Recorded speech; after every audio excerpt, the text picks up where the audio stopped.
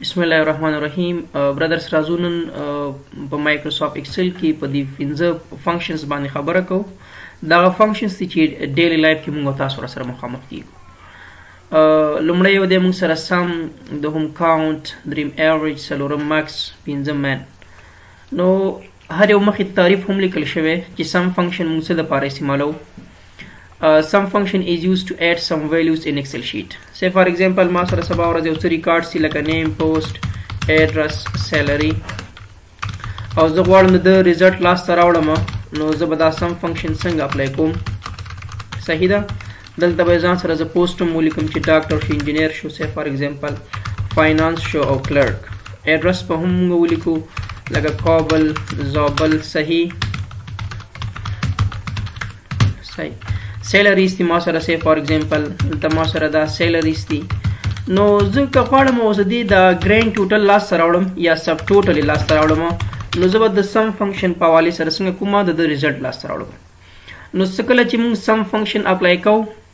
نو لومړی به د ایکوال ساين پریس کو به ولیکو اس یو ام سم به با شیفټ نه پریس کوي چې بریکټ شروع شي تاسو سره دا ټول ویلیوز په موږ پکې انتخاب کو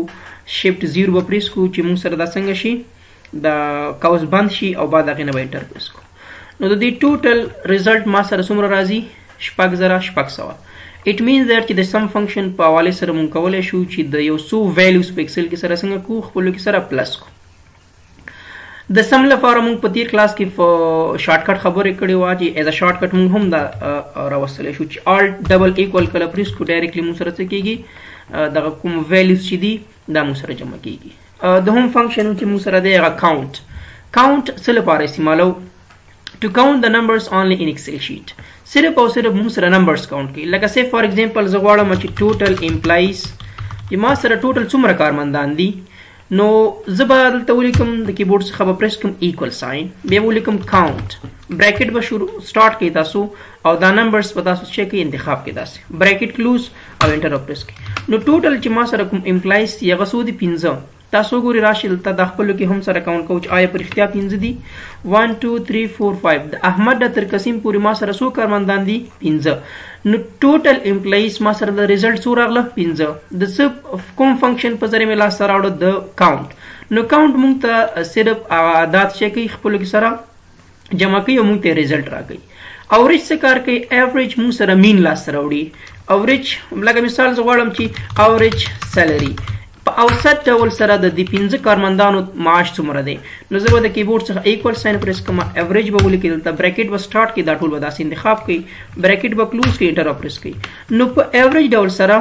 د هر یو کارمند سیلری مونږ سره څومره راځي دیارلس زره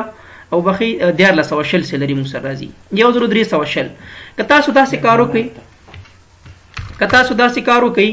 چې دلته ایکوال ساين پرس کې دا شپږ زره شپږ سو باندې کلیک واخلي او دا ډیوایډ او پنځو کوي نو تاسو سره به رزلټ څنګه شي سیم راځي نو ایوریج مونږه مین پیدا کو او سر ډول سره چې د هر یو کارمن څومره معاش ده راځو نیکسټ موږ سره ماکسیمم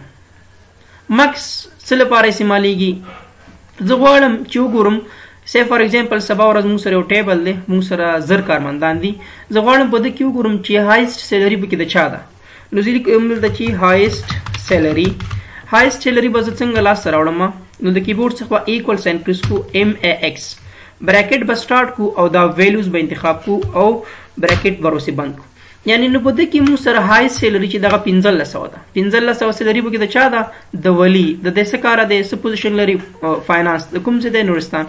نو دې موږ ته څه شو کې اصل کې ډیر برادرز ماکس موږ دا شو کې چې په یو ټیبل کې مو سره های سیلری د چا ده مین موږ ته شو کې is this, this function is used to find the minimum value په مکسي مونږ ماکسیمم اعظمي چې څومره مونږ سره هایست سیلري دغه مونږ سره لاس راځي او په مین کې مونږ سره لویست سیلري لاس راځي زلته راځم لاس راوړم چې لویست سیلري نو کیبورډ څخه به ایکوال ساين پریس کړئ ایم آی ان به ولیکئ بریکټ به سٹارټ کړئ او دا ویلیوز په خپل کې سره چک کړئ پلس کړئ او انټر به پریس کړئ نو اوس موږ ته ښیي چې لویست سیلري به دې کې څه ده احمد دا د ډاکټر د کابل نو د د سیلري سو د 1200 ده It means that چی مکس او مین مونږ سره څه شو کوي هایست سیلری او لویست سیلری مونږ ته څنګه کوي فایند اوټ کوي ښه برادرز سم باندې مونږ خبره وکړه چې مونږ سره ویلیوز جمع کوي کاونټ مونږ ته عادات شمیري او رج مونږ ته اوسط راکوي فیصدي راکوي مکس مونږ سره جیګا سیلری شو کوي او مین مونږ سره ټیټه سیلری شو کوي نو دا غا فنکشنز دي چې په ډیلی لایف کې ورسره موږ تاسو روزمره مخامخ کیږو نو که تاسو